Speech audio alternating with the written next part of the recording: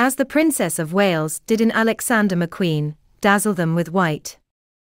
During today's BAFTAs 2023, Princess Catherine vow on red carpet.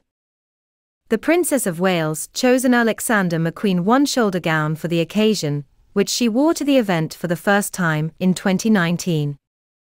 Her dangling gold earrings, which were less than £20 from the cheap street boutique, were what gave the outfit a hint of glitz. Kate, who is well known for her affinity for high street brands, frequently wears items from Zara and combines expensive clothing with more budget options. In this stunning asymmetrical white gown by Alexander McQueen, Catherine embodied classic Hollywood glamour. The dress had a tight waist and a hugging bodice in traditional Kate style, which flowed into a full skirt. We adore the shoulder embellishments, which gave the garment a truly couture touch.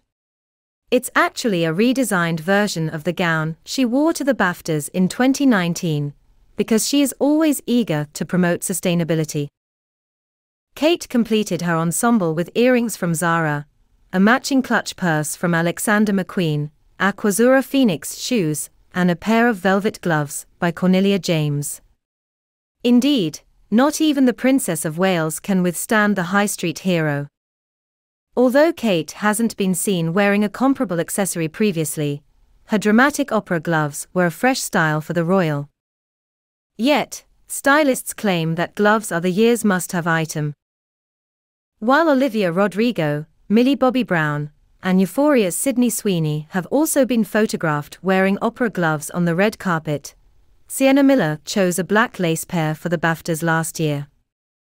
For the event, Kate styled her hair behind her shoulders and wore a smoky, iron pink lipstick for a spectacular look. The royals arrived at the ceremony this evening in good spirits and grinned as they spoke with the personnel at the awards. Prince William looked sharp in a black dinner suit that he had previously worn, a bow tie, and a pair of tasteful black loafers while Kate shone in her gown.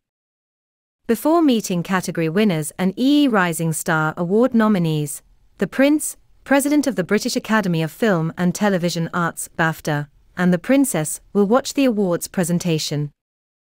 The royal couple has made the occasion an annual date in their calendar, but their most recent appearance was in 2020, just before the COVID 19 outbreak put the UK into lockdown.